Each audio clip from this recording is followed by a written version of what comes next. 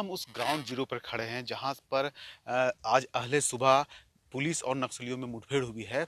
लगभग एक घंटा तक इसी पहाड़ के पीछे मुठभेड़ चलता रहा है और उस मुठभेड़ में किसी के हताहत होने की खबर तो नहीं है, लेकिन अभी पुलिस की चार टीमें अलग अलग स्थानों से पारसनाथ के इलाकों को घेरे हुए हैं और नक्सलियों की खोज की जा रही है।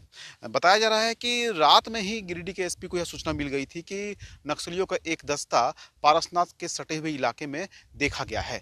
इसके बाद से अगले सुबह सीआरपीएफ एक सौ चौवन बटालियन की टीम जंगल में जब उतरी तो कुबरी गाँव के पास, इसी गाँव के पास मुठभेड़ शुरू हो गया। मुठभेड़ के बाद नक्सली जंगल में मोहनपुर गाँव की तरफ़ भाग गए हैं जिसके पीछे पुलिस के सैकड़ों जवान लगे हुए हैं। अमरनाथ सिन्हा ईटीवी भारत, गिरिडीह।